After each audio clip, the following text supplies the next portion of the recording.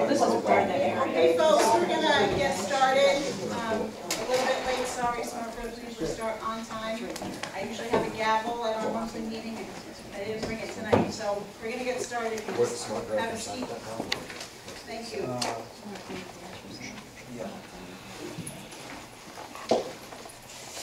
I'd like to welcome you all to Smart Growth Meet the Candidates Forum for this election cycle 2016. This is not something that we're unfamiliar uh, with doing. We host these on a regular basis. Um, We've had a, we held a debate at South Forsyth High School. We've had a meet the candidates at Fowler some years back with Todd Levent. Um, And we held them, we've had another one at the Chamber of Commerce event, uh, event location. So we're accustomed to doing this. Um, I wanted to thank you for coming out tonight, spending your Wednesday evening with us.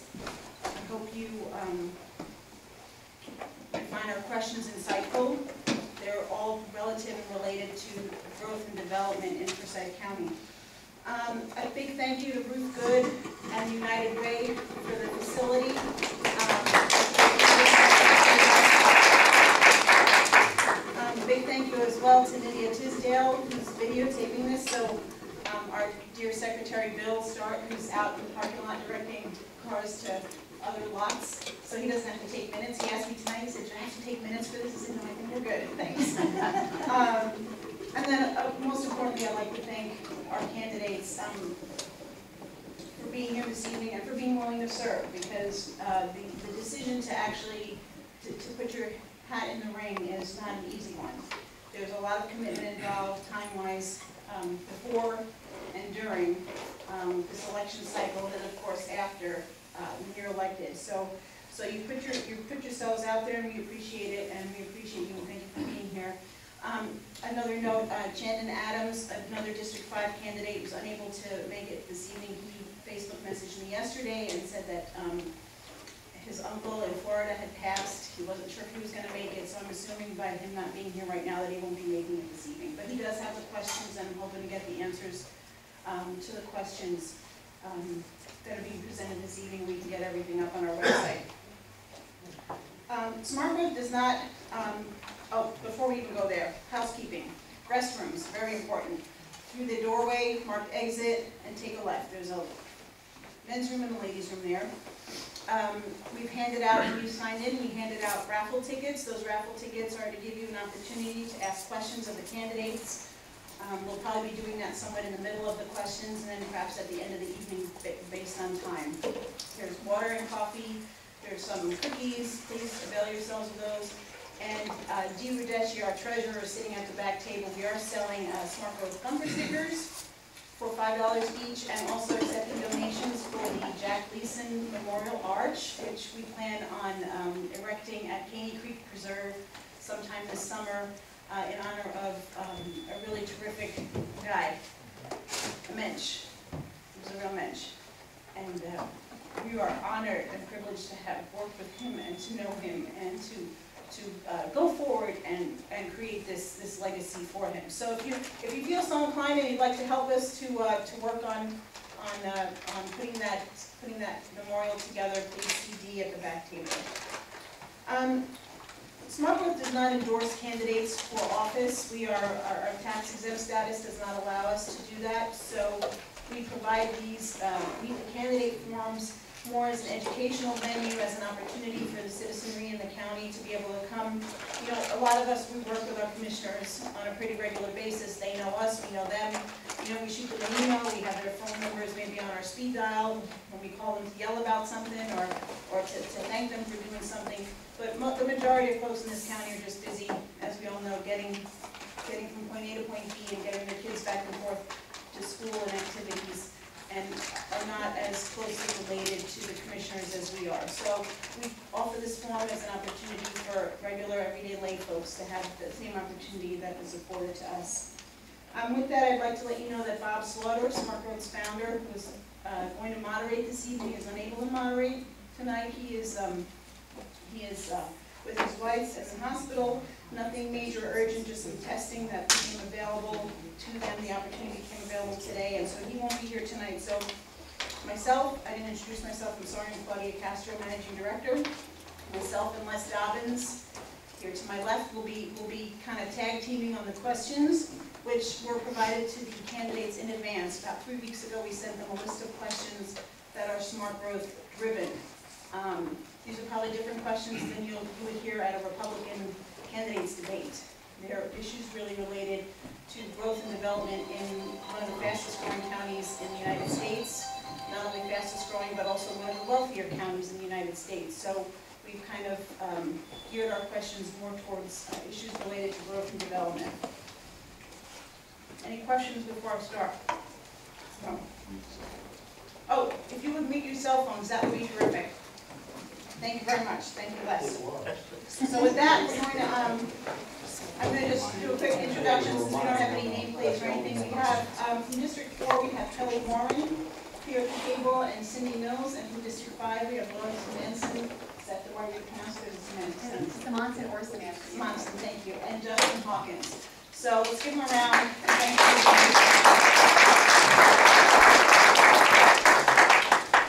So just, just to, throw you off your game a little bit, because, you know, it's never too good to be too comfortable.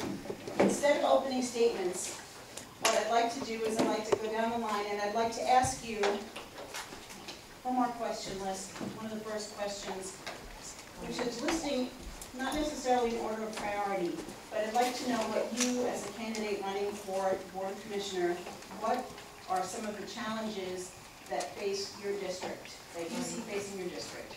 What is the time? Oh, I'm sorry, yes, it was on there, I'm sorry. Anita, sitting right up front here with her yellow and red cards, she is the timekeeper. So you'll have a minute to answer, at a minute, you'll get the yellow card, that'll give you fifteen more seconds. So wrap it up, red card means you're done, okay? So, going back to question number one, please list or tell us what you feel are one or two or three of the major challenges facing you in your district, and if you don't mind, I'd like to start with, um, to be different, because he's the only guy up here, Justin There we go. So, um, obviously, uh, me and Laura are running for District Five, and I think it's the most uh, diverse district out of the entire Forsyth County. It encompasses north and south Forsyth. So I think that one of the couple of challenges I would say is infrastructure up north. And whether you go on Sanders Road or Knuckles Road, you see a lot of the infrastructure is falling apart. The Habersham Sewer is a prime example. Um, the Habersham Sewer has been an issue for over a decade now, and we have 400 residents on a, on a private outdated sewer that was zoned back in the 80s. And they still have uh, constant leakage, they have, uh, their, their rates are astronomical, and in my opinion, I'm, I'm a Republican, I'm a conservative at heart, but I believe that the basic uh, responsibility of government is, is, is basic infrastructure. So that's one. Number two is the overlay district off Highway 20.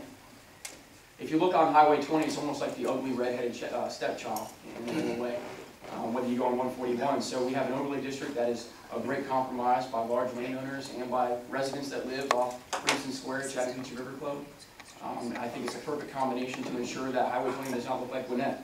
And number three, I would say ensuring that we have better quality residential development. I think we've seen too much uh, tract homes being built, we need to incentivize more quality custom Thanks, home Justin. builders. Appreciate it, thank you. Laura?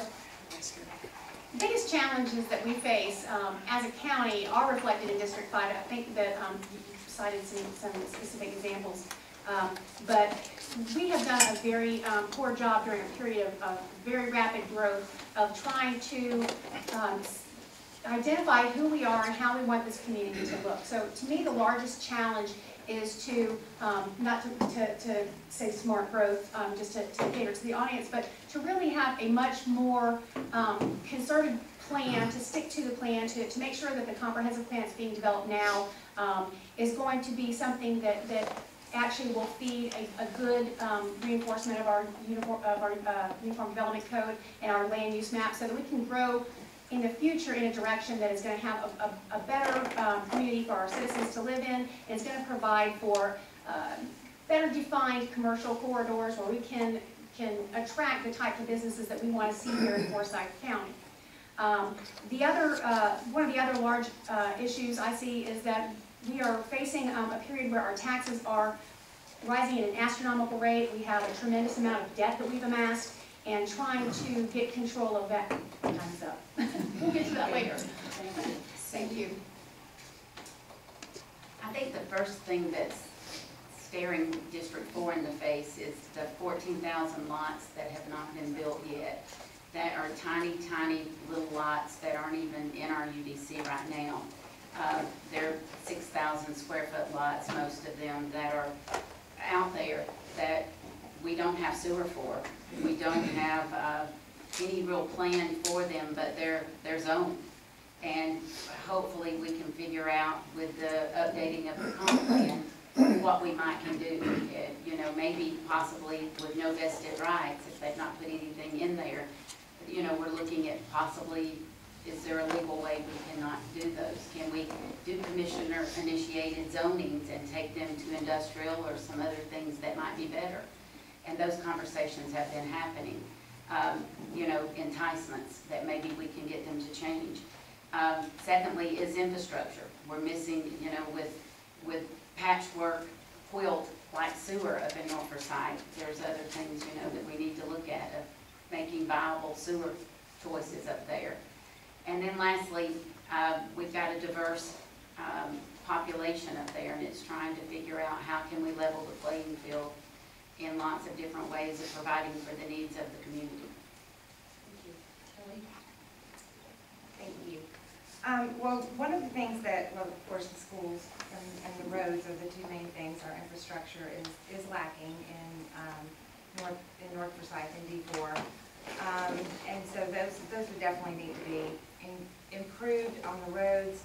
Um, and we need that in place before any more building, residential building especially, occurs. So we need to be putting the infrastructure in, in advance.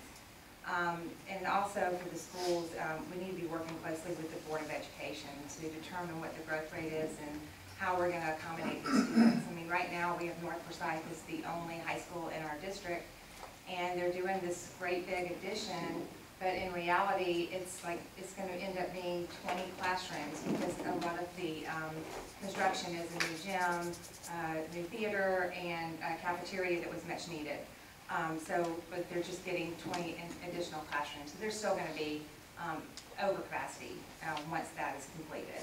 Um, the other thing is, I know we welcome growth in D four, but I feel like we need to make sure that, um, that the builders are willing to assimilate to our, um, topography of our land, do some street cut neighborhoods, not clear cut, um, so that we can preserve the aesthetic qualities that we have and that we're proud of in D four. Thanks very much, I appreciate all your answers, I thought they were real insightful. Um, considering I live down in District Two, so I'm not as familiar with, you know, the issues that you folks face, and even the issues that you face in District Five and near the lake and twenty, you know, so thank you for that. Um, going on to the, the list of questions that we sent you, we just are doing them kind of randomly for you, we'll create as an order, but we'd like to know if you would champion changing the BOC times to six thirty and holding more meetings if required to make these more accessible to the public. As you know, a five o'clock start time for meetings is virtually impossible for people like myself who hold an eight to five job, or people who, and I live in, and work in Forsyth, but for people who live and work here, but work in town, how can we make it easier for them to attend meetings? And this can be a, so would you champion changing the BOC time, or would you consider changing the BOC time to a later start time? Um, start Kelli. Um, absolutely. Um, I feel like that the decisions that are being made at the Board of Commissioners meetings are about our tax dollars, our citizens, and they need to, need to be able to, uh, be in touch and, and know what's going on at all times. I mean, we do have the TV access, and you can go and watch it, but I think it's much more effective when you're actually there and seeing what's going on and watching the interactions, and you learn a lot by doing that. So absolutely, whatever it would take to accommodate taxpayers, change the time. A politically correct thing to say would be absolutely, but no.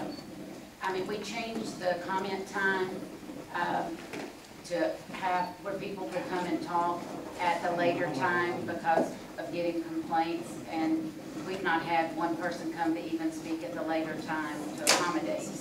Um, The way the meetings are right now, by the time you do the announcements, uh, the real meeting doesn't really get started by and large until six o'clock. By the time you get through the adoption of the agenda and all the other things.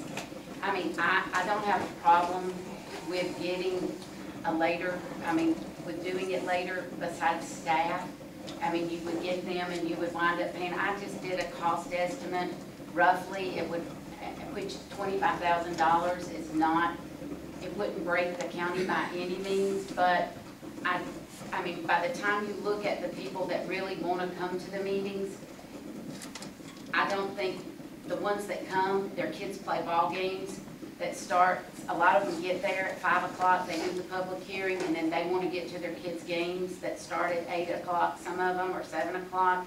So the ones that get there, there's, there's positives and negatives. You know, the ones that wanna come early, they wanna get gone, they wanna be able to leave. And for the staff that wants to get out of there, and our meetings go sometimes till ten o'clock at night.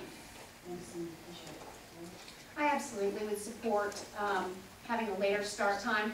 Anything that is going to help uh, allow the the the taxpayers of this county to have better access and better input is something that I support.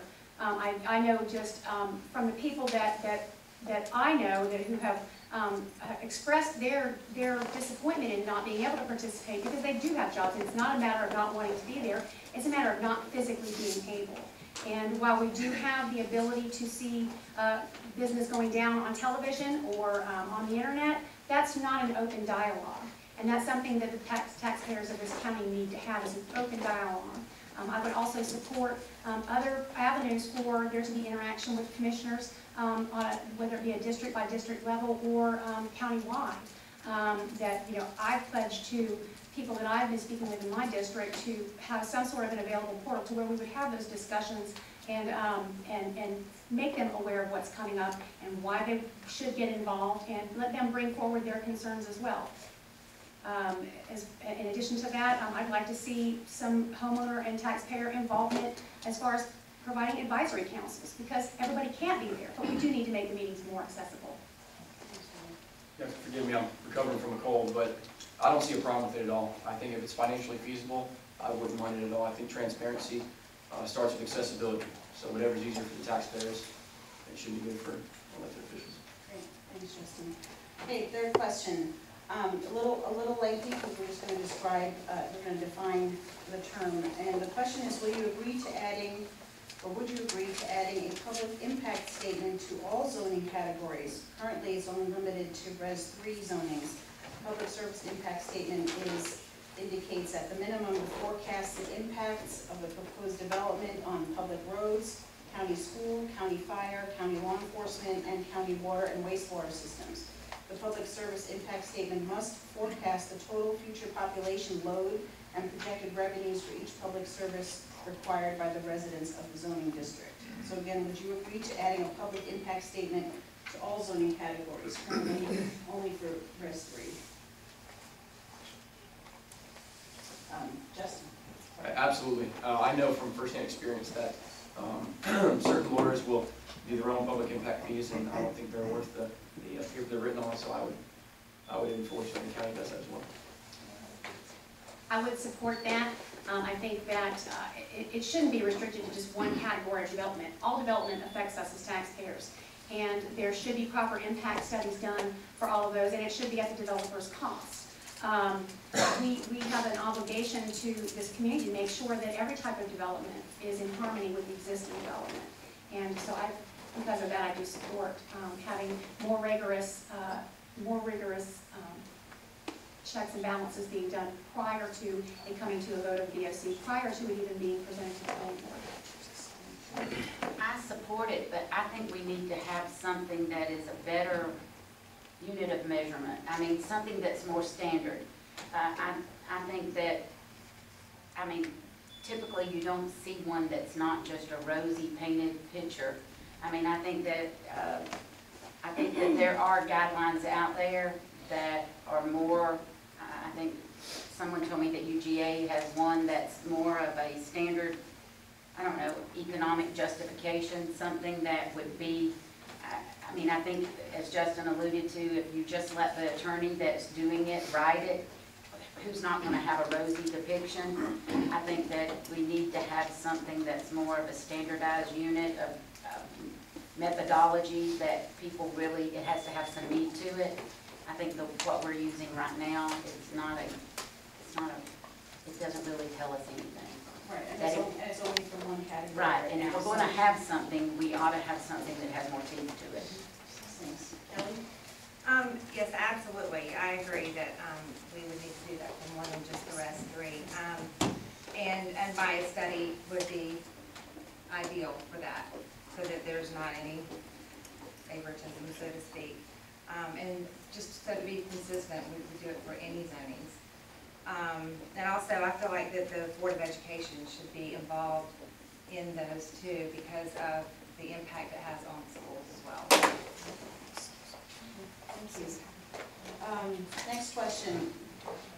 What is your position on a possible change to the UDC that would prevent a zoning or zoning amendment, land disturbance permit, et cetera, from going forward for consideration when plans and drawings for these actions to include significant changes are not made available to the general public more than two weeks from the date of said vote? Votes, but change where, wherein the developer or someone coming, presenting before the board could not come and present a plan, you know, within the two-week time period of the vote occurring, in order to give the public, the general public an opportunity to, to, uh, have a say or to, to provide some input as well. Cindy? I can, I mean, I get that sometimes plans are ever evolving and they happen, but I, I do think that the public and the people that are participating deserve to have time to be able to look at them and, and I- I also think, not to add to what you're saying, but I think the public has a real, uh, justified complaint that after a zoning has been done and people come back and start making changes, that they deserve to get to have another public hearing as well.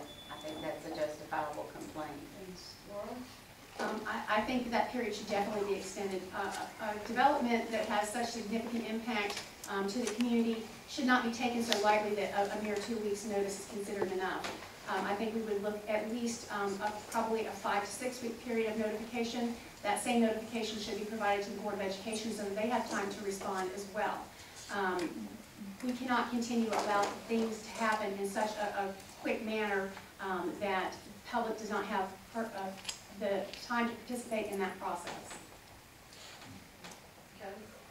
Oh, um, I feel, I feel like a minimum of four weeks, um, definitely, with sufficient notification to the public about, um, the meetings, um, so, uh, uh, any of the changes that are proposed. And also that, again, the Board of Education should be, um, included in that, um, notification. An extension should be made. The zoning process is very complex and very tedious. Even for people who are claiming to be experts, it's still a very hard process to understand sometimes. And then when you get uh, average citizens who work and, and and have their daily lives, it's very hard for anybody kind of understand. So I, I think that extension should be made. I have seen firsthand, so many deals are made right up into the last eleventh hour, five minutes before public hearing. So I think an extension, I can't tell you what time period would be the, the, the best suited for that, but uh, definitely something beyond two weeks. Well, and, and, and so here's the, the little curveball tonight. We're only doing one curveball, but the curveball is something that is, uh, is current right now. And so with respect to, to public, uh, input and public's ability to see plans, um, we're gonna segue into when and why should a county-initiated rezoning, um, take place? And what is the proper means for the public to have access to plans that have not really been vetted by our planning staff. Um, That, yeah, that's the question. That's the question. And I'll start with Justin. I think that a a county initiated zoning, everyone's gonna have a different opinion, whether it be a legal opinion or not, but I think it's when it benefits the public, for a public good, I think a county initiated zoning is the perfect thing for that. What we can't do is we have a moratorium, we can't circumvent that by doing county initiated zonings. I think we're seeing a little bit of that right now. So if there is something in terms of an infrastructure or something in terms of, uh, for instance, there's a piece of property off Highway twenty that was zoned apartments back in the eighties. Um, and, and right now, there's a, a, an issue in terms of getting federal public funding for that. And I know our BOC has, has issued a letter to our federal government saying that that land uh, is, uh, is, is, wants to be conserved for commercial, is on a commercial corridor. I think for a county initiated zoning, that might be a perfect example. Kelli? Um, I feel like, um, if they're gonna do a county-initiated, um, zoning, that we need to have the same transparency as we would with any of the other zonings. Um, and it would have to be in extreme situations, um, not just for favors for certain people or, uh, just general situations. Um, it would need to be an extreme or a specific situation that is causing issues in the county. I think always in the past, in my understanding, and and it typically a very rare, rare thing that it would, I can understand that it was ever used for. Uh, I think now with the moratorium, you're seeing it being used much more, and it- even discussed. It was discussed as being a vehicle to use for zonings because of the moratorium, which is not, I'm not saying that's acceptable or that it's preferred, because it certainly wouldn't be, because even as a commissioner, I don't like it because typically we sit down and we know the zonings and what's happening. You get attorneys that come in and sit down and talk to you, or you get your fellow commissioner will send something to you, or you know what's going on. Unfortunately, when it's the situation with a commissioner initiated, you're in the dark too. And so it's not the preferred way because you don't know what's going on either. So it's, uh, it's not, it's not preferred by any means because you, you don't know, you're not aware of what's happening either. So it's not a, definitely not preferred. I, think that the sudden increase in the number of county-initiated uh, zoning applications is, um, is just a big indicator that um, there is always going to be a, a way that the development commu- community tries to work around the the taxpayers of this county. Um, I understand the purpose of, of why you might want to have something like a county-initiated um, zoning process. Um, In a perfect world, um, to be able to keep move, things moving forward in the county for the betterment of the people, um, that would be great. Unfortunately, it's the type of system that is a loophole that allows for, uh, it- it's just rife with abuse. And um, so I'm, I'm actually, right now, I, I am opposed to it as it is being used. Um, I think until uh, there can be some sort of controls put in place and when those are appropriate, specific categories um, of projects, certain limitations on the size, uh, I, I do not support county-initiated uh, zoning applications because it does disenfranchise the taxpayer. It does um, disenfranchise all of the neighboring people that normally would be a part of that process, um, who are impacted by that on a daily basis. So I, I do not support that as it is set right now. Um, If there was some way to uh, put very strict limitations on very specific types of projects wherein it is, it's strictly a public works type situation where you're doing something to um, make some improvements to the community, that would be, that would be a different subject. That's not how it works now. Thanks. I'd like to take this opportunity to, um, Susan, you're up, to, uh, you were handed a a raffle card, a raffle ticket when you came in. Um, That's for the opportunity to ask the candidates a question.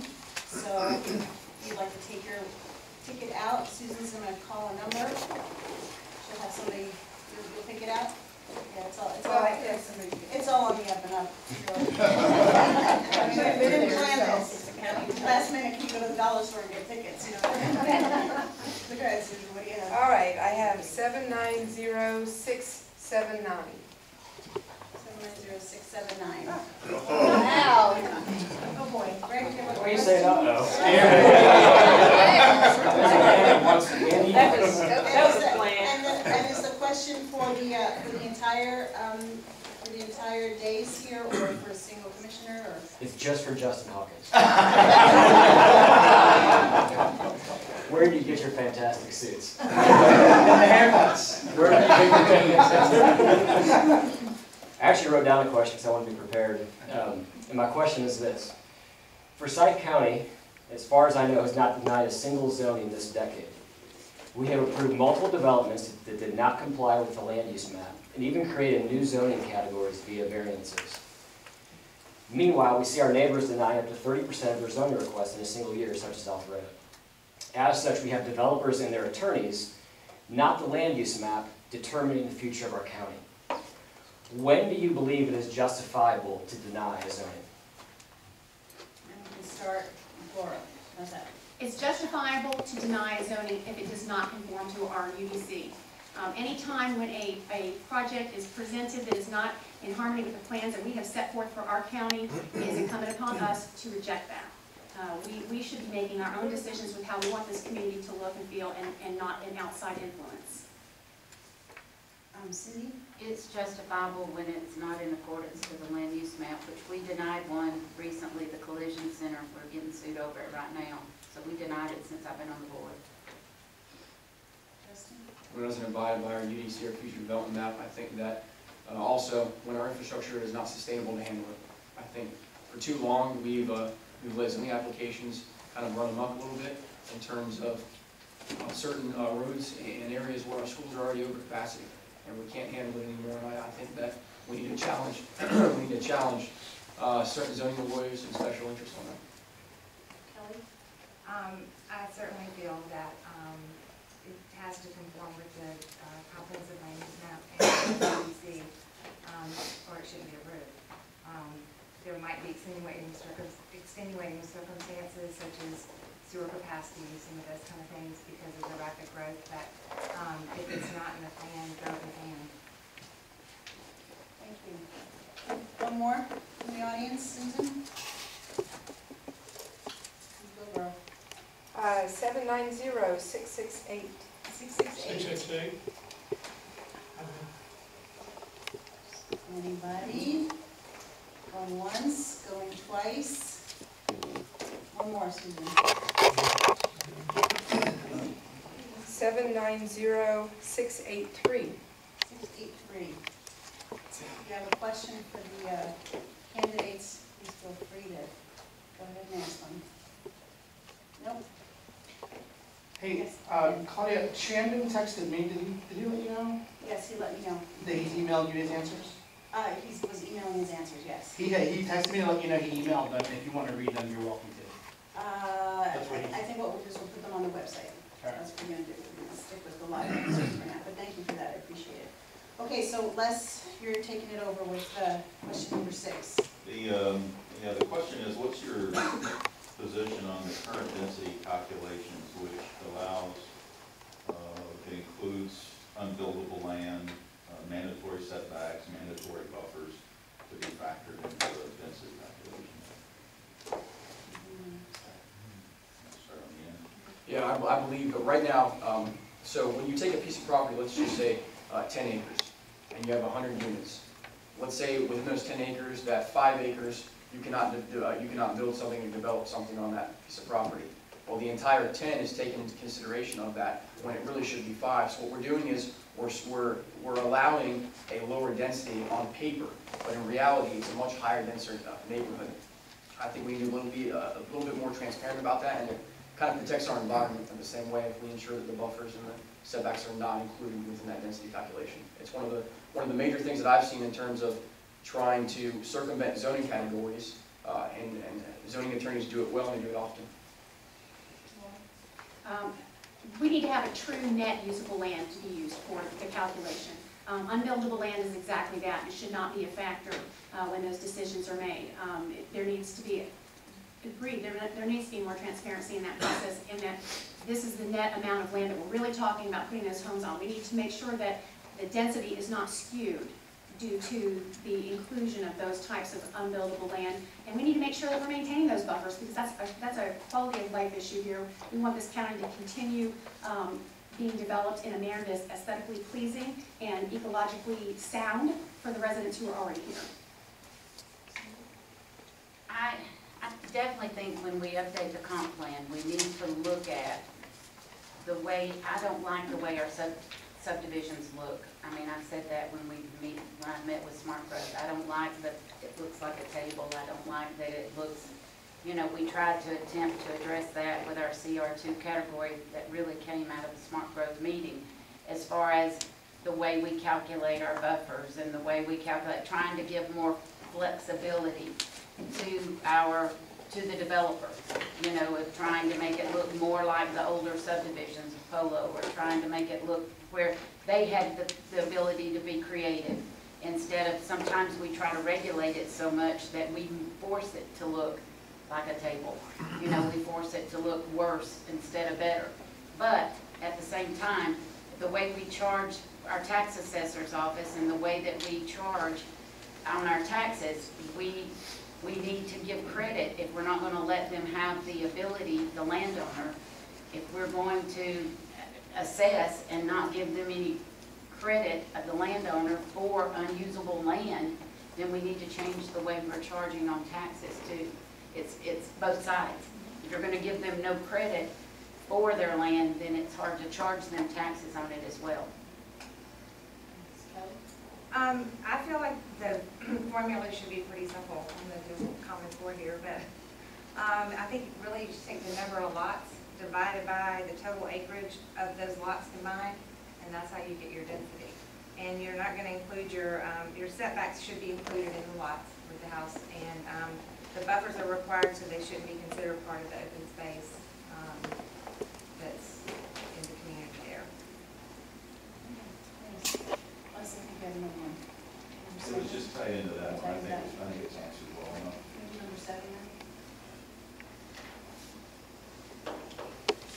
I so, No. The, um, No, it was, twelve. it was your twelve. yeah, I got it. The, um, what kind of businesses, specific businesses should we be attracting to the county and where? So, um, you have any details?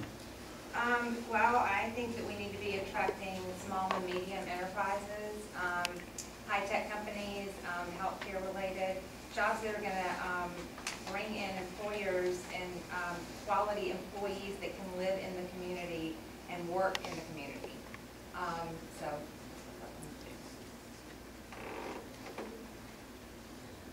I mean, we, we can say we need to attract this, but really, we need to attract people that, I mean, we need to shoot our, shoot for the high ones, the people, the things that we want, but at the same time, I think we've been trying to do that, and what we've been trying to do is not exactly working.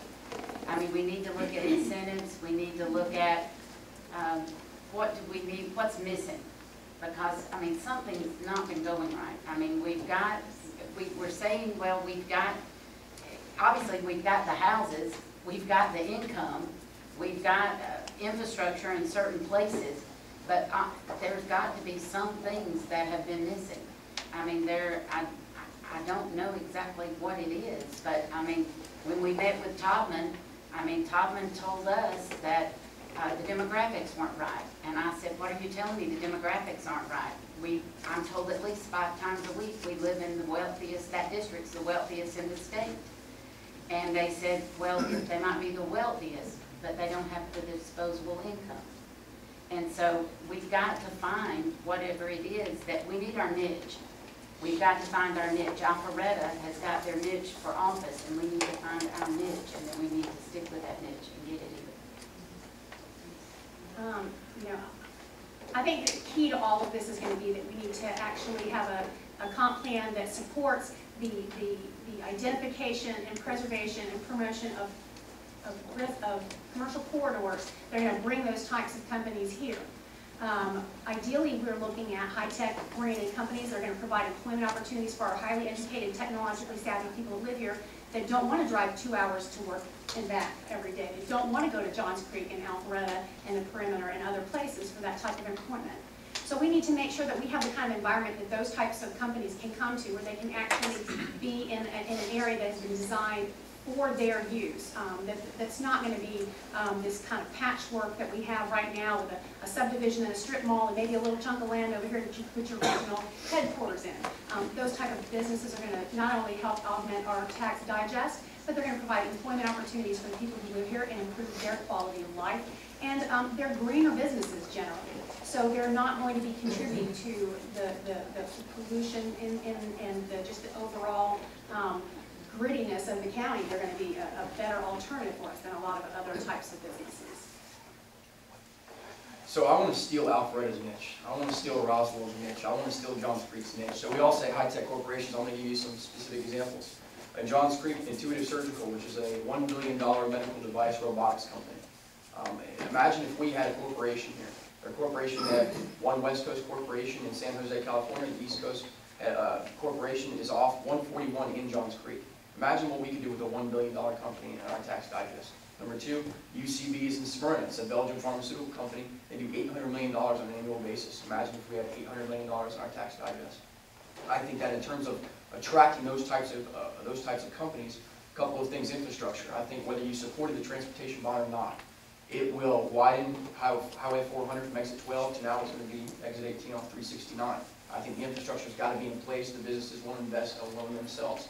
I think aesthetic standards, we have uh, a certain planning commissioner right now, uh, Jane Glacy, who has fought to try to put uh, what's called a design review board. It's an architectural advisory board that Roswell already has it, North Fulton already has it, and it ensures that our aesthetic and landscape standards are up to the highest quality. We need to outcompete what Wynwood looks like. I know that Cindy, uh, you have, started this movement, and, and I think it's a great cause, and that's what we kind of, that's what we need, so infrastructure, aesthetic and landscape standards. And I think that we all, as board commissioner members, need to work with our chamber and hustle everybody out. Les? Um, Moving on to, uh, cities and viability of cities. Since a city-like concept for Sharon Springs neither fixes the problems that gave rise to its proposal in the first place, nor is currently viable at the state legislature, what is your position on a city of Sharon Springs or any other city for that matter, that would be a fully incorporated, robust city, complete with its own services, school, administration, and taxes? Cindy? I think that, um, first of all, a study needs to be conducted. If, if a city is viable, if a city, that would be a, a study that is transparent, that shows if the city can stand on its own, that shows the county, all the county residents, what that study, you know, how it would impact the county, how it would affect the county as a whole with a plan. You know, how it would be phased in, how it would affect the county, because, um, you know, how it would take the revenue away from the county, and then how you would work together for that to, to take place. You know, that, that's what needs to happen. You know, how it would transition, because you, you don't just, something like that happen. You know, you have to work together and cooperate together for that to happen, because when you take place, it takes a tremendous amount of effort for that to, to take place, and all of a sudden you take away all, so much revenue, and you've got to be able to coordinate and for that to work together. And it needs to be a cooperation between all parties for that to take place. Um, well, first of all, I think we definitely would need a comprehensive, unbiased study of the cost of the city and also the benefits. What are the benefits to the county? Um, and then once that is completed and people are, have access to that, then I think we need to go and let the voters decide on what is the best, um, decision to make for our county. I think the voters ultimately need to make that decision. So I, I, believe that Forsyth County is a bit of an outlier in that we are one of the, the largest counties in the state that has only one municipality. Because of the rapid growth of the county outside of the city area, um, there really has been a lack of identity in certain areas of people who are trying to, to, to build that in and have felt like they have not had representation for their very specific issues um, that, that relate to their area. That said, there was a lot of frustration, I think, within the Sharon Springs area, and I think it's a lot of misunder- mis- misunderstood um, information about the reasons for that being built, uh, or that, that effort coming forward. And I think that um, the fact that there are other efforts like that in the county is something that we're not going to be able to ignore. Um, I don't know that a city is the right answer. It definitely is something that um, speaks to the fact that we don't have proper representation right now um, for the citizens. Um, There are other options that definitely should merit exploration, um, including whether consolidation um, in in a situation like Athens, Clarke County, or Jacksonville, Florida, um, with Duval, that, that should be considered along the way.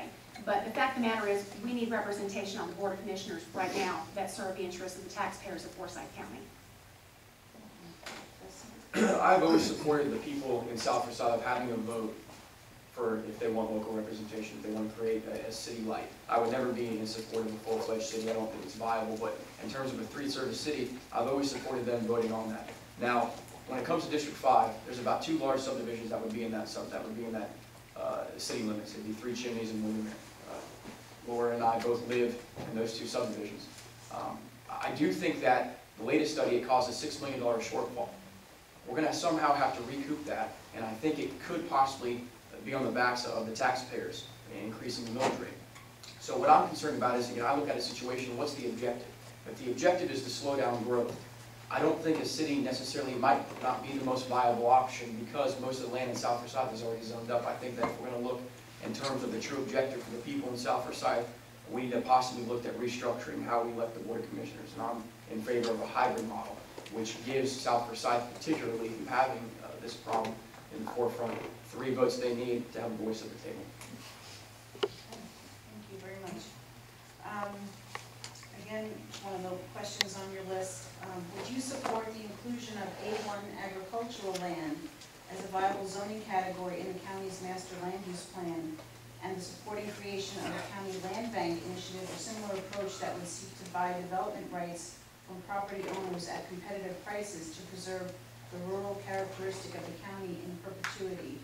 And if so, or if not, why? So, and, and I don't know, just to to follow a little bit further on that, I know that, um, there was a posting I saw today on, on, on Facebook regarding agri-hoods, uh, something similar to a, um, a Serenbe type of project, which is down south Palmetto County, I think it is, um, down near, uh, Callaway Gardens area, and their, their models, so where they, where they have, you know, they have commercial and they have, uh, farming and they have residences and it's kind of all, maybe Shangri-La-ish, but I just wanna know what your opinion is on trying to get, understanding that the price of land is very high in Forsyth County, it's higher than most of our surrounding communities, um, our neighboring communities, what can we do to, to keep that, that A one, to keep A one, to get A one actually back on the map, because currently there is no A one at all. So how do we get it back on the map? How do we incentivize landowners? How do we, how do we incentivize developers to incorporate and to use, and to use the A one as a, as an amenity rather than just to discard it? I'd like to start with Kelli. Um, absolutely, I'm in support of, um, A one as being a viable zoning in the land use map. Um, but, uh, my concern is when you talk about the, um, buying the development rights from, uh, from the landowners, um, if it's gonna be, end up being a tax burden on the county by them having to use county money to purchase that land, then I have a problem with that. But if there are other ways that, uh, money can be accessed to purchase that land, then I would maybe be in favor of that. I was invited to a meeting um, with the, uh, with a lot of farmers this week, which was not a common occurrence. It was the, um, our county economist, uh, UGA, that had three or four farmers there. And uh, the Castleberry family, uh, Wade Castleberry's family talked about that they had farmed their land for six generations and that they could no longer farm it, that he was still farming, but his three sons, he begged them all to not, to continue in his footsteps, that they just couldn't make the money anymore. And that he had encouraged them all to go to college and do something different, that he just couldn't. And he described that our county had, they live up in my district, and that they, that even riding the tractor on the road was, that people that it were too crowded and people scream and yell, and he said, of course, I have my, I, I don't listen to what they're saying or look at their hand signals that they're using toward me anymore, but he said that, but I think that we, that they don't want their land looked at as agricultural anymore. Mm-hmm. And I don't wanna sit here and start trying to say what their land should be, because it's their land. And they have farmed it all their life but it's theirs. Uh, One of the steps to helping us preserve the identity that we have in this county is to make sure that we still have an environment where, where A1 is a viable category. Um, That said, taking that a step further and saying that, that we would, as a um, county, spend taxpayer mon, taxpayer money to, to um, buy that at, at the, the- going rate, um, I'm not sure that that's something we're in a position to do right now. What we do need to do is make sure that that is a viable category, that those landowners are um, incented through, uh, to keep it that way.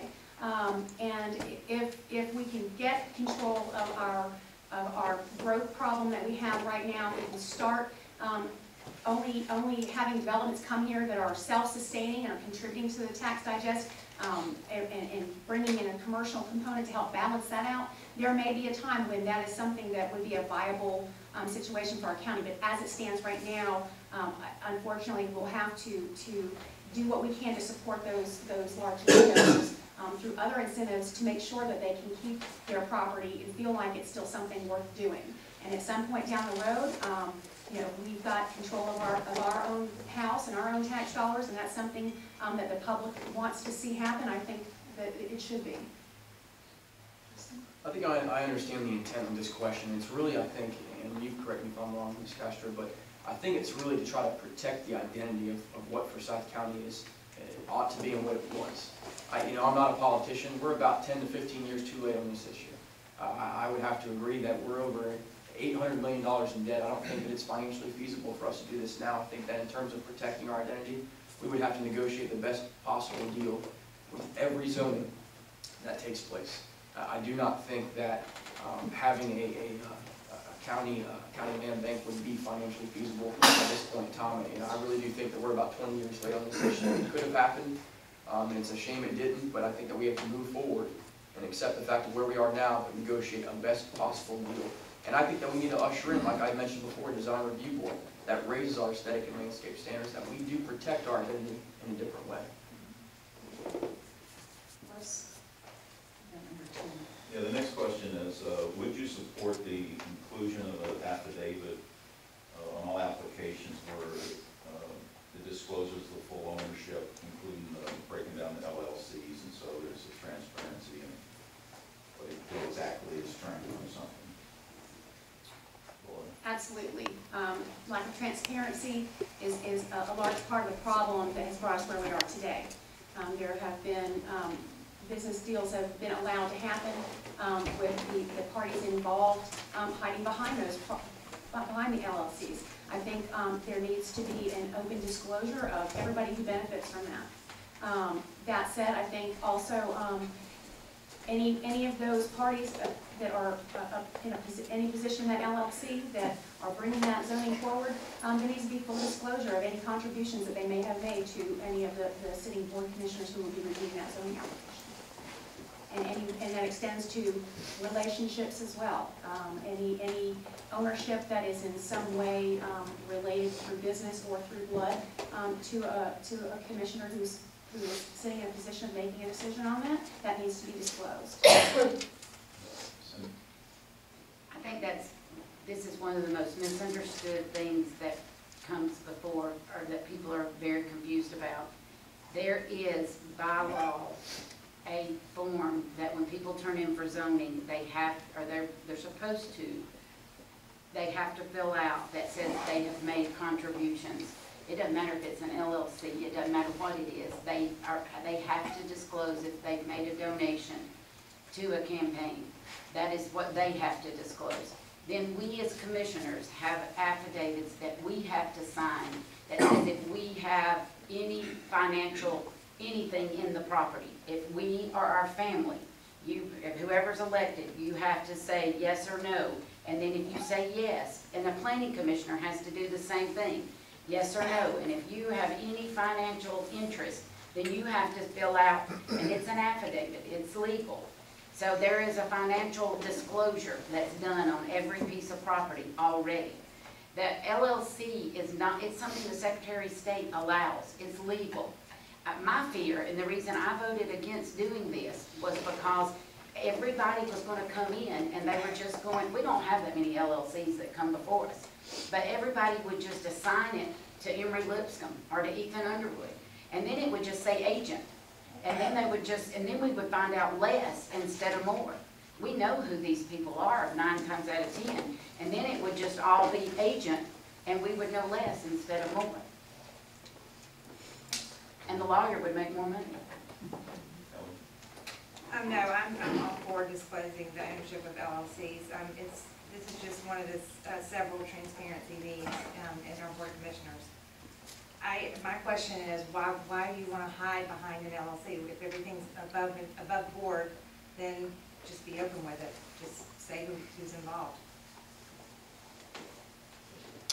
I would not be opposed to it, you know, I, I do think the developers, um, they, a lot of the times they file an LLC on the road in the area and they call it, you know, eighty-eight Dix Creek, for example. Um, I, I do not think it is, uh, people are hiding behind LLC in terms of uh, breaking the law, because, um, there are legal and enforcement mechanisms right now that if someone were, were ripping off the taxpayers, if someone were pocketing cash, I mean, we would find out about it. I mean, it happens, if you see DeKalb, Decatur, Gwinnett, I mean, there's, there's, um, fraud that happens all around us. So I wouldn't be opposed to it, I- I'm not, I wouldn't be opposed for it, if they came up on my table, I'd probably vote for it. Uh, but we do see some LLCs, I'm not trying to challenge you, but I, I do know that, you know, developers often have LLCs that go in that subdivision, that go in that, uh, surrounding area. Um, I'm not, you know, in favor of limiting transparency, so I wouldn't be opposed to it. Yeah, the, um, it's a little bit like the question that Greg asked, but in what situation would you vote for a zoning when the county planning staff has recommended a vote against it? It would be a case-by-case basis, I can give you an example. Um, it's one that's been heated in, uh, eh, on social media a lot in regards to me personally. Uh, Roca Point, the staff recommended that they reduce, uh, the units a substantial amount. Um, I, I think that when the staff, and, and, and when, when, when Tom Brown and their staff, take a tedious and, and, and a rigorous approach, I think that the commissioners need, to, to realize that. I mean, they're there for a reason. I, I think that in Roca Point particularly, they should have uh, reduced that, that, that unit. Um, I believe that it would be in a very rare circumstance that I would go against the staff. I have to say it would be a case-by-case basis. If any up here uh, can give you a def- definite answer, uh, they're gonna find something out uh, very different when they get in that, in that seat. I don't think that any of us could give you an accurate answer. It'd be a case-by-case basis. It's not the sexiest thing to say, but it's the truth. Um, Honestly, you know, I, I would assume that, that once a, once a project has gone through all its checks and balances, the notifications have been made to the public, the participation portion has been held, that the planning board has been involved, that all the, the, the, the Ts are crossed and Is are dotted. Um, If the staff comes out against it, I honestly, I, I cannot think of a situation specifically that I would be, would vote for in, in the face of, of the planning commission recommending against it.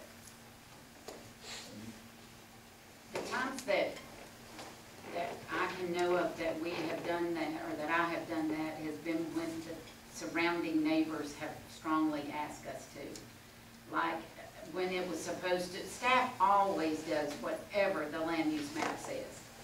So it doesn't matter what, they always do whatever it says. So if, I, I can think of when, like there was commercial that abutted a residential subdivision.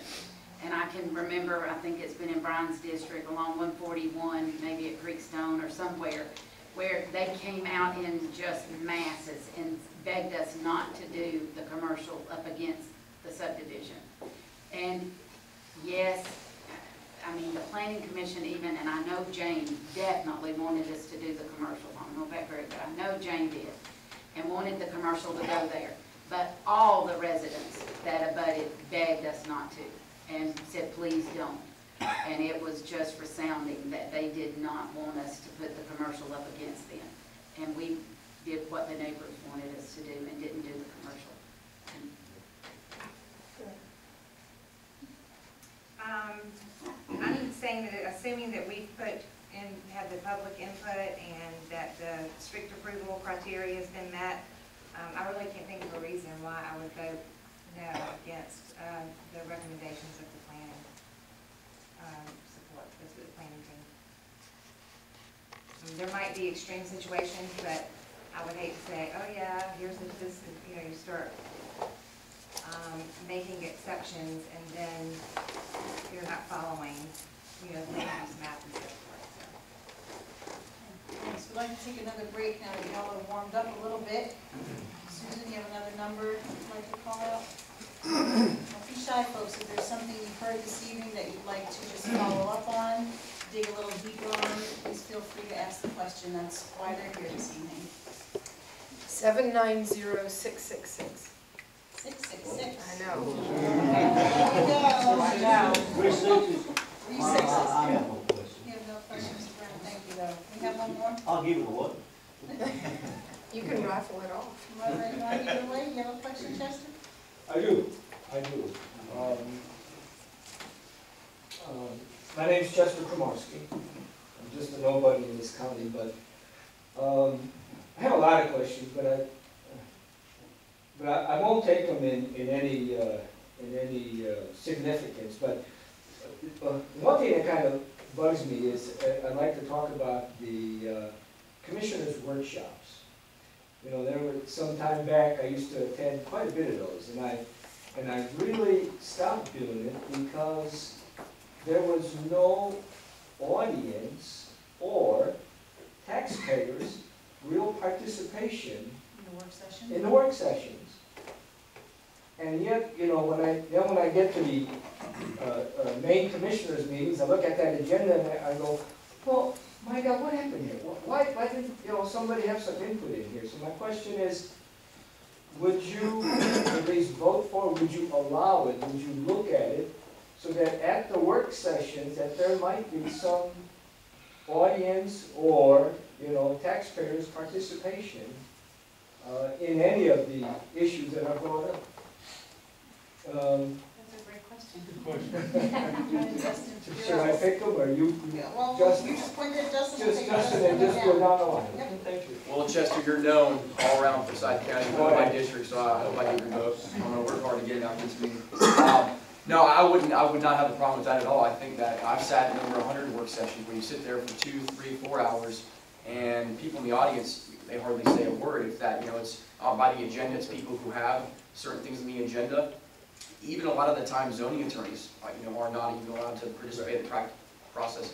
Um, So it, it does limit the ability for more participation, so I would not have have a problem with that at all. It's a very simple answer, it's straightforward. Absolutely. Um, I, I, I can see both sides of this, and I think that I definitely would want to have uh, some public input in those types of settings. But from a workflow standpoint, um, I can understand why they, they kind of don't want to let it get out of control and, and, and to actually work on the issues there. So what I would suggest and what I would propose would be that there be, that there would be, similar to there are at the actual Board of Commissioners meetings that do have public participation, that there is a structured um, input section at those meetings as well, so that, that tho- those comments here to be made, um, so that can be considered as part of that, um, as part of that dialogue. As an addition to that, um, one of the things that, that I would do as a commissioner is to make sure that I'm having that open dialogue with people in my district. Um, people outside of the district as well will be welcome to participate in that process, where, um, issues that are gonna be coming up before the board that are, part of that process, um, are, are brought forward to the community for their input, um, in that type of setting. Um, and I, and I envision that as being some sort of an, online portal to where there'd be an exchange of information, where they could also bring forward their issues. Um, and then as well, a, um, some sort of a, a- a steering committee that is guided by taxpayers concerned in their particular, areas, subdivisions, or, or regions that would be able to participate in that process. I agree with some of what Laura had said about, I definitely think looking at doing things differently is a, a possibility. Uh, We, I talked to Ken about, you know, doing a few district, uh, taking a work session into districts. You know, not doing every meeting the same way, even taking a Board of Commissioner meeting. We, we talked to Pete even about that, we, about had a stroke, but about doing that, about taking, you know, taking to our rec center and doing some things differently like that. And, uh, you know, uh, we talked about doing district meetings and doing different things in the coming year, mixing it up and doing things differently. Um, I think those are all good ideas of, of trying to take it, because I think when the whole Sharon Springs thing came up, one valid point was, people didn't feel like they were part of things. And I think that's very true. I think that we've lost, we've gotten so big so quick that people don't feel a part. And that's something we need to do better. is making people feel apart. But I think that, I don't know when a meeting is lasting five hours, and some work sessions do, how do you start adding public input? You're gonna last ten, I mean, I gotta figure it out. I, I think it's a good idea, but gotta figure it out. Um, I could definitely see where there would be some issues with time, but if you set the right parameters, um, and, and allowed somewhat like, uh, the board of commissioners meeting, there's a set specific time for public input or public questions, um, so that there can be a little more interaction. But also, um, I think it would be great to do, um, like a quarterly town hall in, um, each district, you know, so- so that people can know what's coming up, what's happened, and basically, instead of, you know, being behind the eight ball, you're getting ahead of it. And people are more communicative about things, and, um, hopefully, they jump in and wanna help and participate when they are, you know, empowered with knowledge of it. Thanks, thanks for the question, Chester, that was a great question. Um, to a question and an an issue that's near and dear to Smart Growth's heart, um, with respect to the Big Creek watershed and impervious surface, uh, therein, you know, we, uh, we came out in two thousand and nine with a report that basically, uh, said that we were re- reaching, or close to reaching, on the, you know, getting to the point of reaching the maximum allowed twenty-five percent impervious surface covering um, in the Big Creek watershed, which is a, it's not only an environmental, an environmental um, asset to protect, but it's also uh, Roswell's drinking water comes from the Big Creek watershed. And understanding that we're one of many municipalities that should be following this rule that probably aren't, what we'd like to know is, would you champion or would you support the idea of a management plan for the watershed that would track the current impervious surface percentage in the watershed. So that would be current impervious, meaning currently what's been built, and what that percentage comes out to. Current tracking of approved but not yet built impervious surface percentage in the watershed. So what's on the docket, what's already been approved but hasn't come out of the ground yet, but just know what their lot sizes are anticipated to be, calculating that in. And then thirdly, county tracking of the total estimated, which is current plus approved but not yet built, impervious surface percentage in the watershed. So what we're really looking for is, we're looking, we're looking for the county to take ownership of a, an environmental asset that the bulk of it resides in Forsyth County. The bulk of the watershed is a Forsyth County issue. And we just would like to see it managed. You know, watersheds need to be managed, because when watersheds are not managed, guess what, you lose water.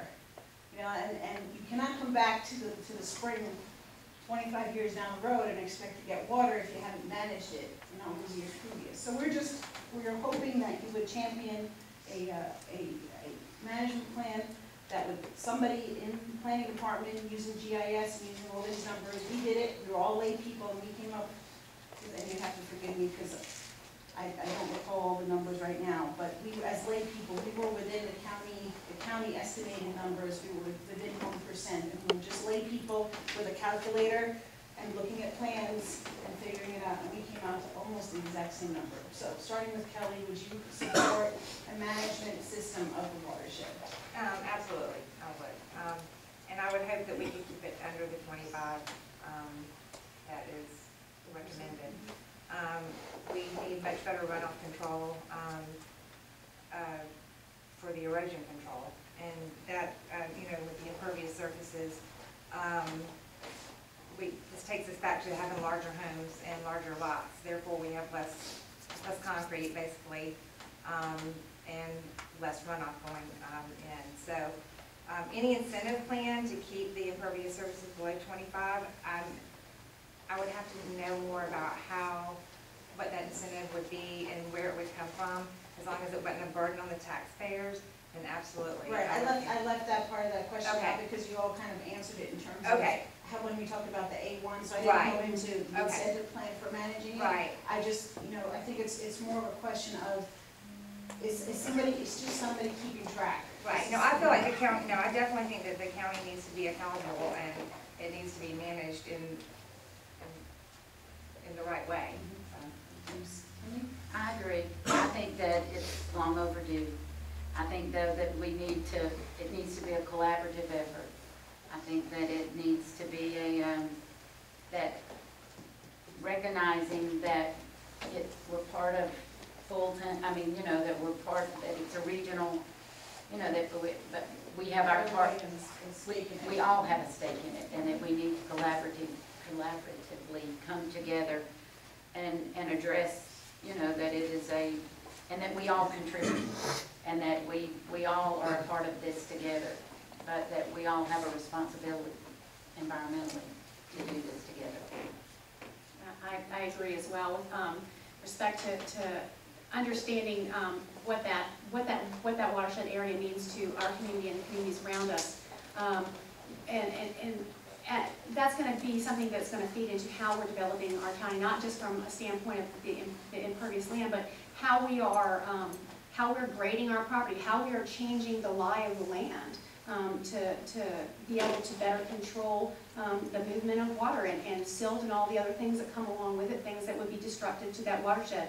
Um, I think twenty-five percent is probably not enough. It probably needs to be less. It probably does need to be lower, um, percentage so that we are, um, allowing, um, nature to, behave as, as much as it naturally does to preserve that without artificially, um, introducing, um, man's footprint basically on that watershed and, and the, and the impact that that has downstream.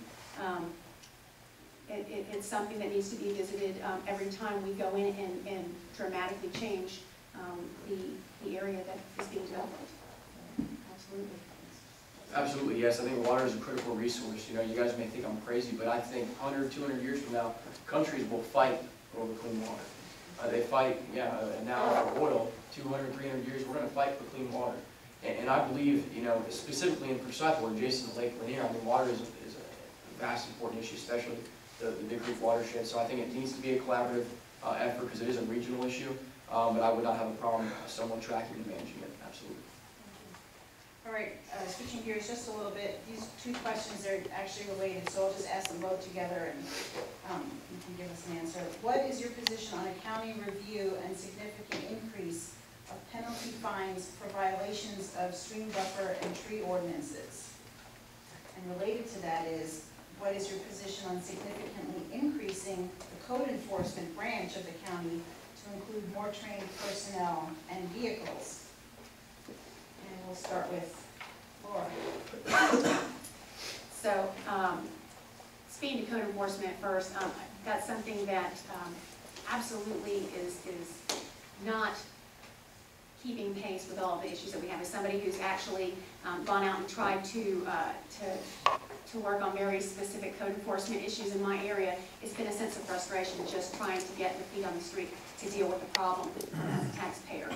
Um, as far as, uh, the, the fines being levied, I think it's, it, there, there need to be stiffer fines and penalties, um, that are, that are out there for people who are gonna violate the stream buffers and the, um, the tree buffers as well. It's, you know, it's easy to say, oops, I'm sorry, we didn't mean to go that far, but when you have to, when they come back and they replace it with quick-growing pines and they've cut down, uh, you know, specimen trees and, and things like that, there's no way to regain that.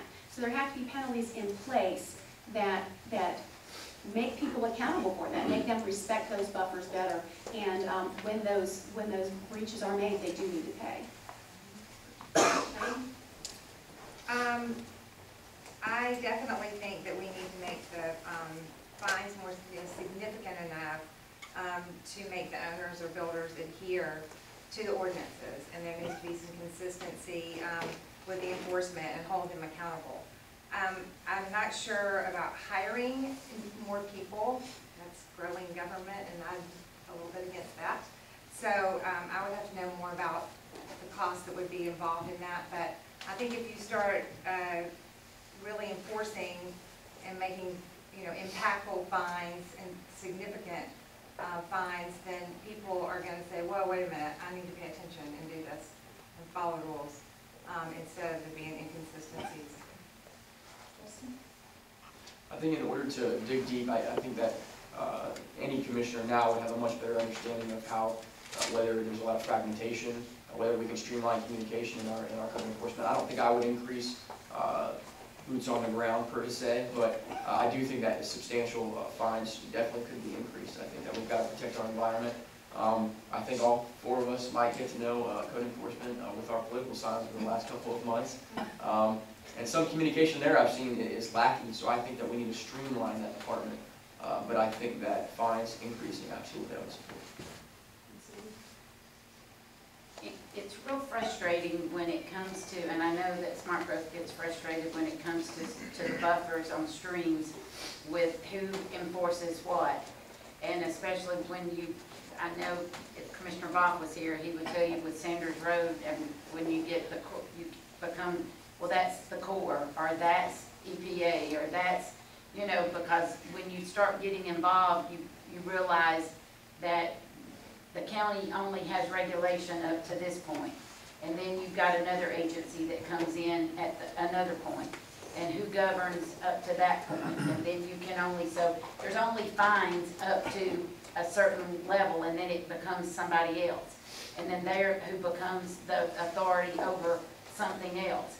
So that part is frustrating because during the layoff, the state laid off a whole bunch of people that doesn't govern, and they don't, they're who needs to put more people on the ground when it comes to the creeks and when it comes to lakes and things of that nature. On the tree ordinance, I mean, I get complaints constantly from developers over how much they pay on the tree ordinance. There is, they can't put back pines. It's not even allowed, they don't even count. It's hardwoods now. I mean, it's, and they put two trees in every yard now. But it's, but it's, I mean, it, they complain that it's too rigid. I mean, so, I mean, it's according to who you talk to and who complains. She's like, "Laura, I'm sorry, did I, did I get you? I Yeah, I just was You responding, got everybody. just I'm in sorry. a little interaction between us about the trees. Okay, my The head was requirements. going. Yes, time for an audience question. Susan? Go girl. What's the number? Seven nine zero six six five. Six six five. Okay, that's me. Um, I want to go back to the economic development uh, discussion. Um, I've got an answer for you. Change the organisation. Uh, I've been a businessman in North Carolina, South Carolina, Mississippi, run big plants, and the number one guy in the county was, was the economic development director who worked for the county. I mean, these are guys that were top people they recruited. And Mr. Hawkins, if you want to get to where, where you want to be, drag these businesses from Alpharetta and Roswell and further south, you can't do it with the organisation you've got. So my, my question, and this is not a knock on the chamber, they, they do great stuff, but it's not, it's not their primary focus in life. Quite honestly, it's that the membership is their primary focus. You need a dedicated person, and maybe more than a person, if you're going to go out and grab those businesses that Mr. Hawkins is talking about, because that's what we need. I drive down to uh, Midtown once a week, and there are millions of people pouring out of Forsyth County. I keep thinking, why do it? You know, why are we sitting in this traffic jam? When there's, you know, obviously they want to live here, but there are no jobs. You, you've got to go after them aggressively, and it takes the right sort of person, the right sort of organisation. So my question to you is, is that possible, is it possible to look at what we do today in the economic development stage, time to make a change and move on with the rest of the world, quite honestly? Start that with Kelli. Thanks for the question.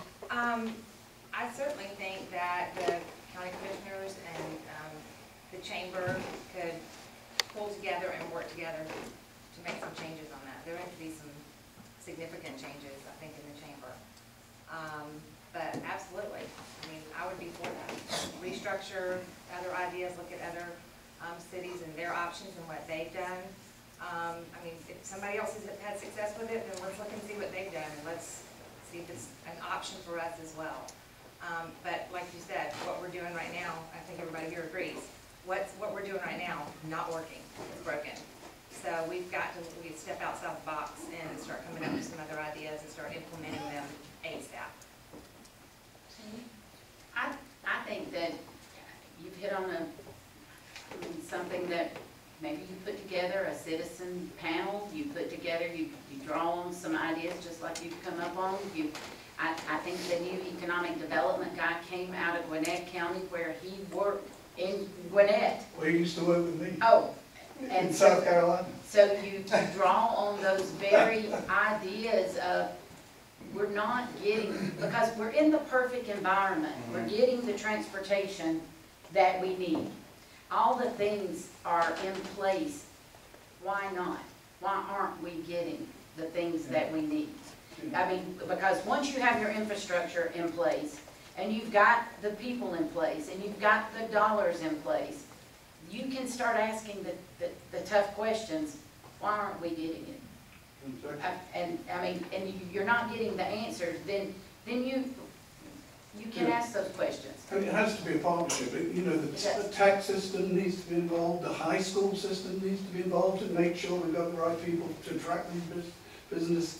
Well, and now that we're You adding don't a want them all to school. migrate from somewhere else. Well, and now that we're adding a school, like the, the one that's, we're adding, that is a technical school that's developing the jobs, why not develop the jobs for the business that you're wanting to attract? For the right In business. For, for the right, In Forsyth, yeah, Exactly. So one of the things, one of the conversations that I've been having um, with people who, who live in this county and have businesses that they have located in adjacent counties um, and in, in adjacent um, cities is what would it have taken you to make that decision to come to Forsyth County? So that's a a dialogue that I, as a person, have, you know, who is hoping to represent um, people in Forsyth County, have been having. I think that it's incumbent upon anybody who um, wants to, to work to the betterment of this county to, to have that kind of outreach.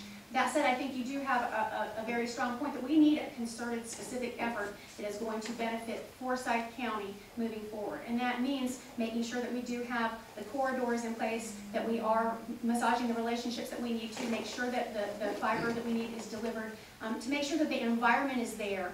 Um, but we also need to be able to capitalize on what we have to, to offer already, which is a, a highly educated, technologically savvy um, citizenship that have, their quality of life is less living here when they have to drive that far to work. So we need to have um, resources from our county. It's an investment in our county to have an economic development um, force of our own. That is, whether it's a partnership with the chamber or one of our own, we, we, it's an investment in our county that will, that will pay us back in spades. If we have somebody out there working to bring that here, and that's what we need. We are at a a geographical disadvantage in terms of, let's say, Roswell or Johns Creek, or even uh, Alpharetta. So I think that we need to, to understand that and aggressively even uh, work ten times harder than them. So as a board commission member, what we can do is, uh, whether you, again, you support it or, or, or against the transportation bond, that's an investment in the infrastructure. We desperately need that. If, if, if you were opposed to the transportation bond, it would have been very difficult for us to even consider having Intuitive Surgical or UCB or Janssen Biotech, who I work for, come up here. Uh, number two, I think that a design review board, like I mentioned, that enhances the aesthetic and landscape standards.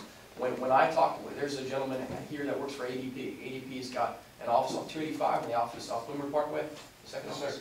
And one of the things that those companies look for is, do they have lodging? Do they have restaurants? Are they convenient logistically to go to the airport?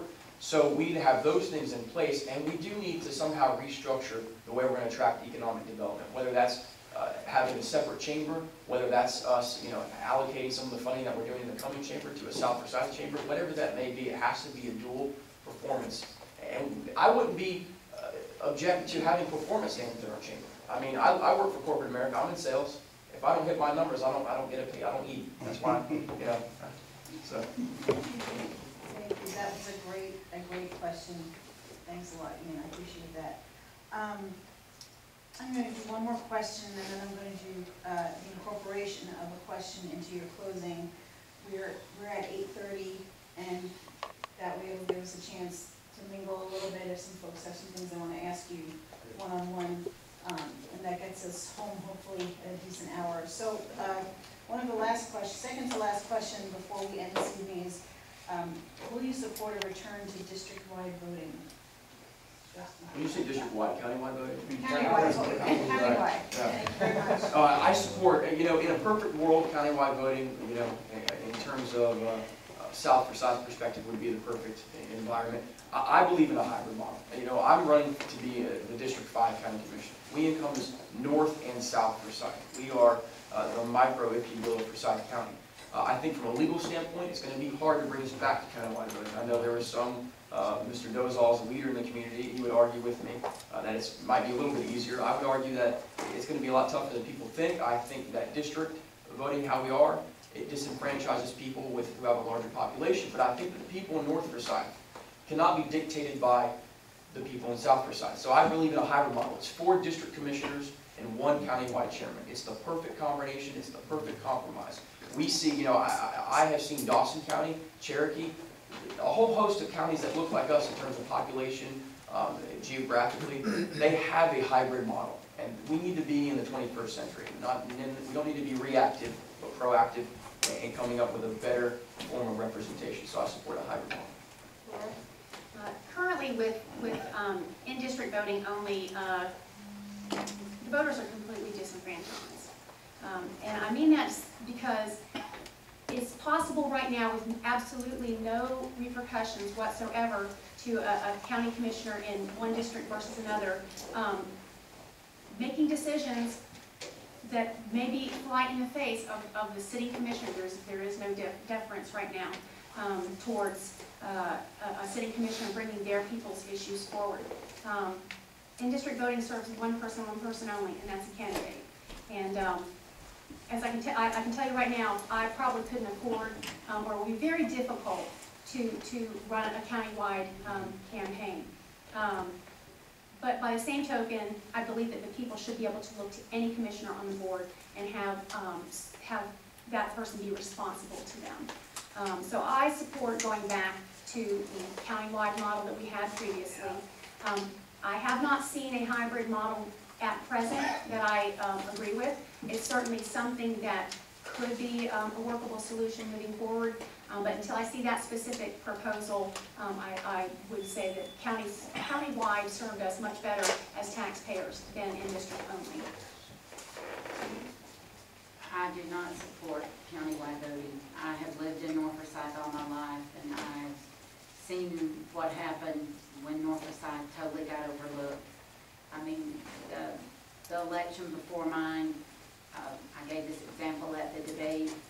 There, Lake Forest, one of my best friends lives there. She had a meet and greet, and one of the candidates, Lake Forest has the best voting turnout of any subdivision in North Forsyth and the candidate didn't even show up for the meet and greet there because the five precincts that needed, that in South Forsyth, that had, that carried the vote was the only one that they cared about going to. And so I don't want North Forsyth to become invisible. And so I, no, I do not support it. I- There could be a better hybrid, I mean, Gwinnett, Cobb, they, they do the other. I, I sit with those commissioners when I'm at ACCG. Gwinnett commissioners are some of my best friends on the, um, in county government. And It works well for them. I mean, but they do have a lot of cities, you know, so I don't know, it's, you gotta compare apples to apples, and I don't know what is the best, you know, the best way. But it, I, um, I, I do think that we offered, and, and the legislators didn't take it, to do the four-fifths majority vote. And, um, we thought it was a good thing, and then it didn't go forward. Um, I personally, as a citizen, I prefer countywide voting because I want to be able to elect all five people that are making the decisions on a day in and day out basis with my tax money. Now, with that being said, I'm elected as commissioner and the majority of D four is adamantly opposed to it, I'm gonna represent what D four wants despite my personal convictions for it. Um, I'm open to some hybrid options too. I know there's a lot of different things that could be done. Um, but, I mean, I would have to get in there and learn more about it and Thanks. Um, I want to thank you for, for being here this evening and for, really, I think, I think your answers have been top, top level, top drawer. I I don't recall, I don't recall being in a place with, with this number of candidates and everybody being so insightful. So I want to thank you for, for doing your homework, um, and coming prepared. That was, was.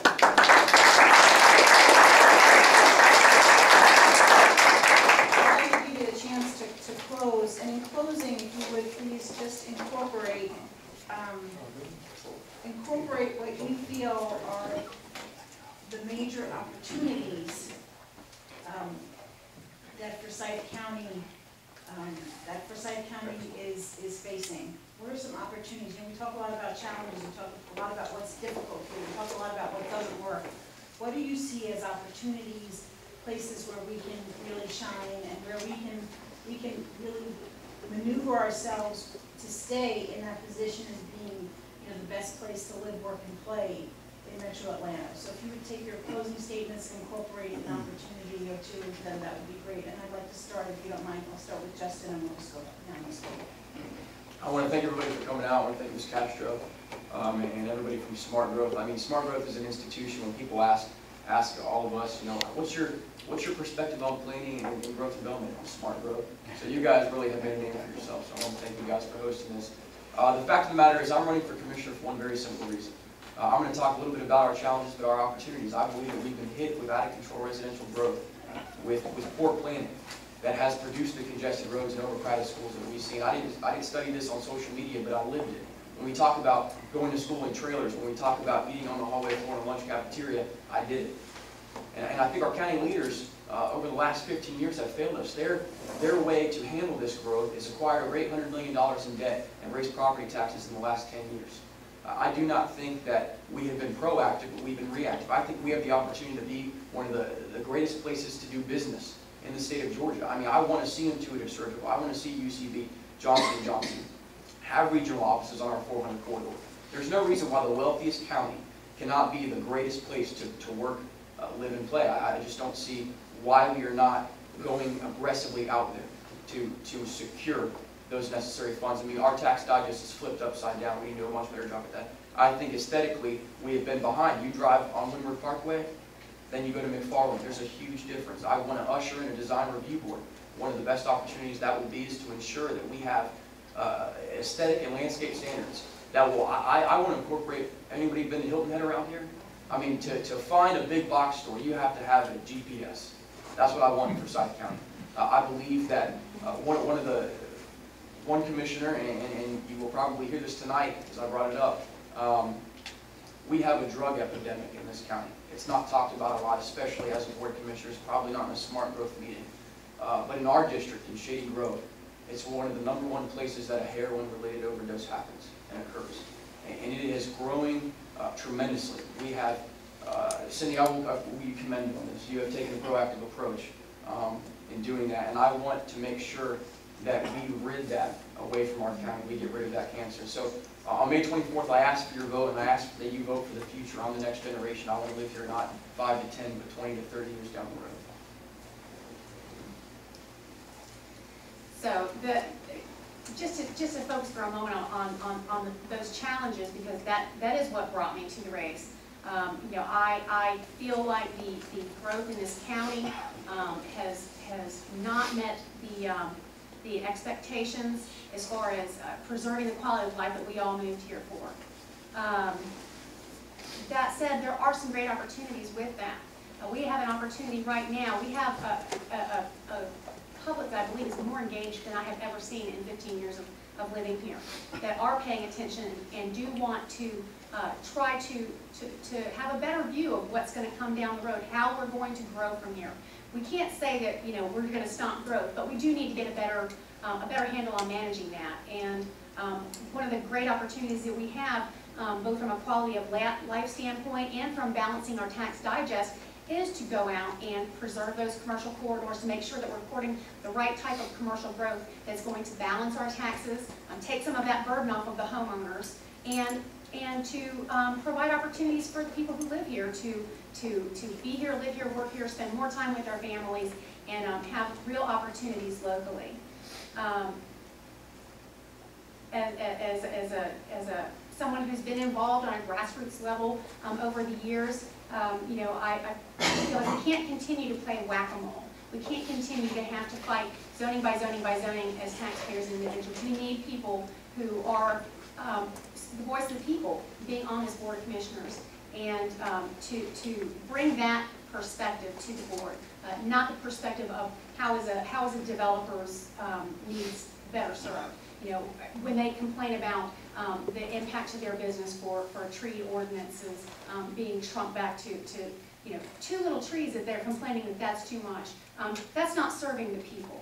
That's serving a different interest. And so I want to bring a, a taxpayer interest to the board that is going to be for responsible growth, protecting our community, preserving the quality of life that we all came here and invested our families and our lives here for, and um, to make sure that that growth is sustainable um, on its own and not coming out of our pockets continuously.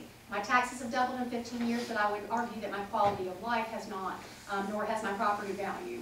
So we need to get some better balance there. We need to have um, a, a, a tax digest that is not funded strictly on, on the backs of the taxpayers um, and, and to, to, to bring more people to an already overloaded system. We need a, a better plan and we need to adhere to it. I, I think we have so much opportunity, and I think that we, uh, we are so blessed, and we don't do a good job maybe of conveying that well, but we live in a great county. I was looking at, and I got our secretary to help me look up, where do we rank in the twenty most populated counties, uh, in our state? And I was amazed to find out that we were number one in almost every category. Uh, we were number one in the lowest crime, we were number one, uh, in the lowest unemployment, we were number one, uh, in the most wealth, we were the number one, um, I can't remember them all, but uh, lowest, uh, millage rate, uh, AAA bond rating and Standard and Poor and Moody, and, um, just uh, the highest SAT scores, highest graduation rate. Just yesterday, we came out that of all the school district in the whole state, we were the number one in that whatever it used to be AYP, but in now whatever they measure it by. So we're, we're like, we live in the land of opportunity. But we haven't done, we've grown really fast. I mean, I graduated in nineteen eighty and we had twenty-seven thousand people here. And so, I mean, I, we've grown really fast, and everybody wanted to live here. And I mean, I have people, I mean, it, I, I don't knock all the other commissioners before me because, I mean, we were poor. We were a poor, poor, poor county. And they did the best they could, probably with what they had to work with. They didn't know how to run all the water lines and get it all done and get it all done perfectly right. And yeah, everybody that came along knew how to do it better, but, and probably they made mistakes. I, I, and they didn't all do it perfect. And yes, Ford Gravitt got the straw, and he did it first, and he's made a lot of money. But that doesn't mean that somebody else, you know, should have done this and could have done this, and, but I do think that obviously, some people made some good decisions because all of you came, and you wanted to come, and people keep wanting to come. And I think that there is a lot of people that have done some things well, because all those things I just mentioned didn't just happen accidentally. There have been, Smart Growth has been here a long time, and it was people that wanted to be in this and they cared. And there have been some quality development that has come, because, and there have been some good businesses that have wanted to come. And we got a great United Way that has raised money upon money upon money, because we got caring people that give to it. And that may, and there's gonna be opportunity to do redevelopment, and that doesn't mean that the mistakes made along the way, that we gotta keep making those mistakes. We can do it better, we can do Big Creek better, we can do this better. And, and, and we'll learn from mistakes, and we'll do that better. But I think that we, you know, that we, we, we do develop, we do the economic development better. I mean, I think as long as we've got a caring community, that we come together, we learn, and we do it better the next time. And so I think with the comp plan, we've got all kinds of opportunity. And that's where the citizens come together and we engage and we do that better. But I think that we've got opportunity to just keep getting better. And we live in one of the best county in the whole state of Georgia.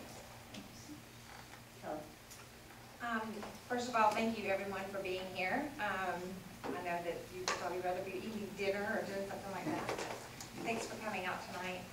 Um, And thank you for hosting this and um, sending out the questions so we could answer them intelligently and research and so forth, so I appreciate you doing that, Claudia. Um, I feel like our opportunities are, we, we are unlimited really. I mean, it's what we make of it. Um, we're at a tipping point though, and I feel like if we don't make the right decisions, then we're gonna lose those opportunities. And specifically in North Forsyth, I just wanna see us raise the bar and have everybody else come up to that bar.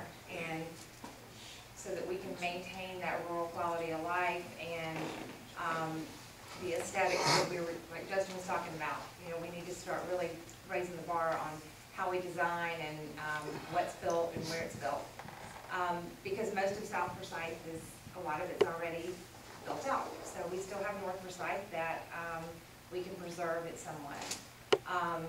So I think that's the opportunity that we have, and we do have amazing people. I, I mean, we have the friendliest county ever, everywhere you go. So, um, I think that has a lot to do with the success of this county, is because people do jump in and they do help and they do participate and they care. Because the money that's raised and donated here for all kinds of different charities is unbelievable. Um, so I think the people make the county, and I think that if we can all just work together, and like this Foster Forsyth that we're doing, we're going and making decisions together on the uh, comp plan and um, moving forward in a positive direction. But I think we need to really, really stay focused on it and not leave here and go, oh, well, that was great. We need to really make that a priority. Thanks again very much. Thank you all for coming out tonight. I really appreciate it. Please avail yourselves of the cookies and coffee and water. Um, if you'd like to buy a smart growth bumper sticker for five bucks, and we say no, we'll take the money. Thanks to the candidates again for being here.